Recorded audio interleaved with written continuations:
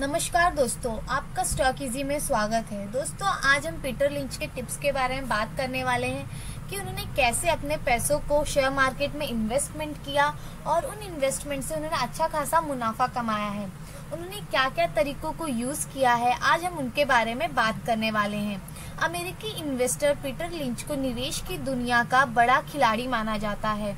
वह बड़े fund manager में शामिल है। वहीं उनके निवेश की समझ का लोहा बड़े से बड़े दिग्गज निवेशक भी मानते हैं। लिंच ने अमेरिका से ही अपनी एमबीए की पढ़ाई की है।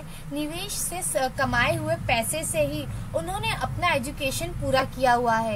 एक फंड मैनेजर के रूप में उनकी जो काबिलियत का अंदाज़ा इसी बात से लगाया जा सकता है कि उन्होंने 1977 से 1990 तक, यानी कि 13 साल तक फाइडिलिटी मैगलान फंड में 29 फ़ीसदी के हिसाब से रिटर्न प्राप्त किया है।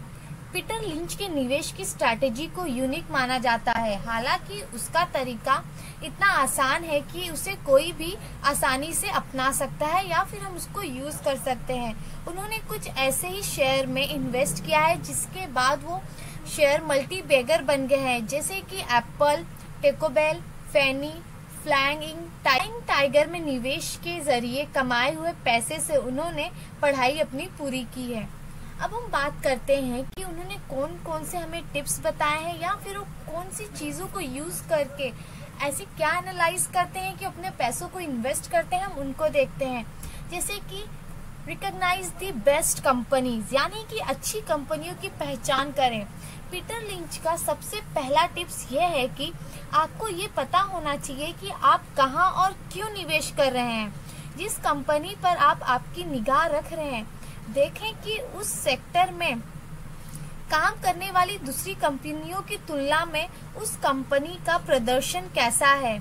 उस कंपनी के फंडामेंटल के बारे में पता करें। एक्सपर्ट से भी उसके बारे में सलाह मशुरा आप कर सकते लिंच का कहना है कि जितनी कंपनियों में उनका निवेश सबसे ज़्यादा सफल रहा है, उनमें उन्होंने खुद की जानकारी जुटाकर ही निवेश किया है।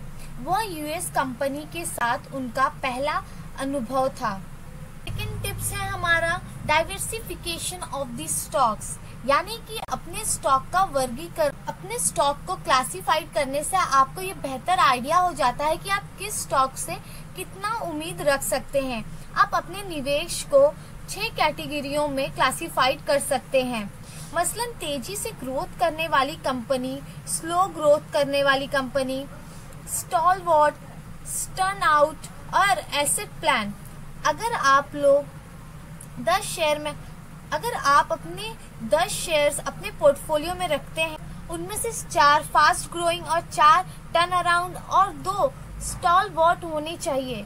स्टेट रिस्क से निपटने में आपको मदद होगी। अगर आपने 10 शेयर में इन्वेस्ट किया है और उसमें से आपके छह ही शेयर्स अगर अच्छे प्रॉफिट आपको दे रही है, एक अच्छा मुनाफा दे रही है और जो चार शेयर है आपको लॉस दे रही है लेकिन क्या होगा, यहाँ पे आपको छह शेयर्स में आपको एक अच्छा मुनाफा मिलता रहेगा तो वो आपका लॉस वहाँ पे कवर हो जाएगा। तो इसलिए जब भी आप किसी शेयर्स में इन्वेस्ट करते हैं तो आपको, अगर आप किसी शेयर में इन्वेस्टमेंट करना चाहते हैं और आपका इन्वेस्टमेंट अमाउंट वन लाख है तो आपको अपना जो इन्वेस्टमेंट अमाउंट है, वो एक ही शेयर में नहीं डाल देना चाहिए।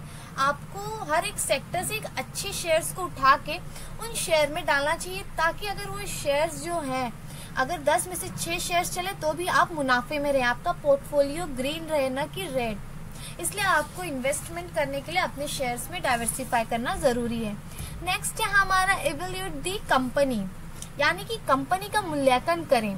इसके बाद जिस कंपनी के शेयर्स पर निगाह हो, उसके वैल्यू का आपको इवेलेट करना चाहिए, जानना चाहिए कि वो कंपनी का वैल्यू कैसा है। आंकलन क्या बातें वैल्यूएबल बनाती है और आने वाले दिनों में उसकी क्या वैल्यू होगी?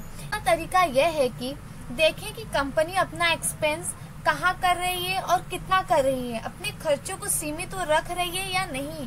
कि वो ज़्यादा खर्चे कर रही है, जितना उनका मुनाफा नहीं, उससे ज़्यादा अगर वो खर्चे कर रही है तो वो भी कंपनी के लिए अच्छी बात नहीं है।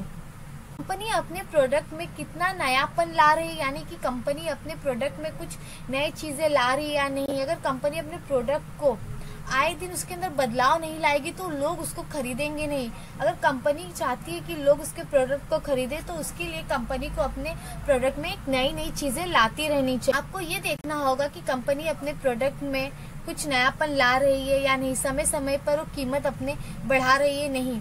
आपको इन सब चीज़ों को ध्यान देना होगा कि कंपनी क्या कर रही है, जो उसका वैल्यू है, वो क्या है। क्या आने वाले दिनों में कंपनी की वैल्यू बढ़ने वाली है? क्या उसके प्रोडक्ट में जो है परिवर्तन वो कंटिन्यू ला रही है या नहीं? क्या वो चेंजेस कर पा रही है कि नहीं? या फिर जो उसके प्राइस है वो बढ़ पा रहे हैं या नहीं? अगर वो अपने प्रोडक्ट में चेंजेस कंटिन्यू लाती रहेगी, लोगों को पसंद आएगा, तभी कंपनी अपने प्राइस को बढ़ा पाएगी। तो किसी भी कंपनी शेयर में इन्वेस्टमेंट करने से पहले आपको कंपनी का वैल्यू भी देखना पड़ेगा। Time to time check the company यानी कि अगर आप किसी शेयर में इन्वेस्टमेंट करते हैं तो आपको शेयर्स को कंटिन्यू देखते रहना चाहिए। नहीं कि आपको उसके अंदर पैसा डाल के उसको भूल जाना है।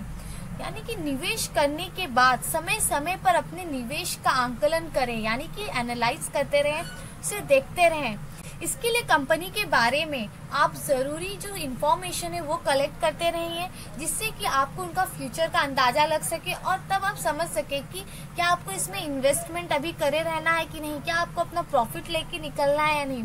अगर आप इन्फॉर्मेशन लेते रहेंगे तो आपको पता चलता रहेगा कि कंपनी अच्छे परफॉर्मेंस कर रही है या नहीं। अगर कंपनी अच्छे परफॉर्मेंस कर रही है तो जो आपका इन्वेस्टमेंट है, जो शेयर आपने लेके रखा है, आप उसको होल्ड कर सकते हैं। या फिर अगर कंपनी के कंटिन्यू जो इवेंट्स आ रहे हैं, या फिर जो रिज़ल्ट आ रहे हैं, या फिर उस कंपनी के जो नेगेटिव न्यूज़ आ रहे हैं, उसके शेयर्स गिर सकता है। अगर ऐसे कुछ इन्फॉर्मेशन आ रहे हैं कंटिन्यू आते जा रहे हैं र्यूमर्स में तो आप अपने जैसे पैसे लेके निकल सकते हैं, ताकि आपको उधर से लॉस ना हो। तो दोस्तों, किसी भी शेयर में इन्वेस्टमेंट करने से पहले आपको देखना होगा कि जो कंपनी है, वो कंपनी कैसी है कंपनी को आपको पहचानना होगा। और आपको स्टॉक्स में इन्वेस्टमेंट करने से पहले आपको स्टॉक्स में को डाइवर्सिफाइड करना होगा कि आपको अलग अलग जगह इन्वेस्टमेंट करना है, न कि एक ही स्टॉक्स में। और कंपनी की वैल्यू के बारे में पता करना होगा कि कंपनी की वैल्यू कितनी है, कि आगे जाके फ्यूचर में इस कंपनी की वैल्यू बढ़ेगी या नहीं। और आपको टाइम टू टाइम अपने शेयर्स को देखते रहना है कि कंपनी की जो शेयर्स हैं, वो कैसे हैं, क्या उसमें मुझे अब कंटिन्यू इन्वेस्टमेंट अपना कंटिन्यू रखना है या नहीं। तो दोस्तों, आज के लिए मैं ही रुकते हैं। अगर इस टॉपिक से रिलेटेड आपको कोई भी डाउट हो तो कमेंट करके ज़रूर पूछें। अगर अभी तक आपने हमारे चैनल को सब्सक्राइब नहीं किया तो तुरंत सब्सक्राइब करें। मैं आपसे जल्द मिलूँगी एक नए वीडियो में, एक नए टॉपिक के साथ।